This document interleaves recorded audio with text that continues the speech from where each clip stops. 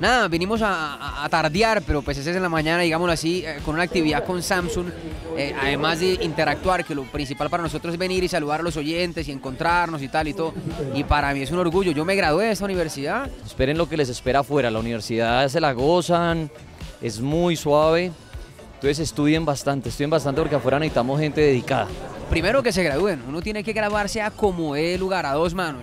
Uno si no es profesional en alguna carrera, no compite pero mucha gente piensa que trabajar en los medios es de pronto más fácil si no es profesional o si tiene talento y no sé qué. Bueno, el mejor mensaje que uno le puede dar es que sigan estudiando, que sigan avanzando, creyendo en ellos mismos, porque el que persevera cansa.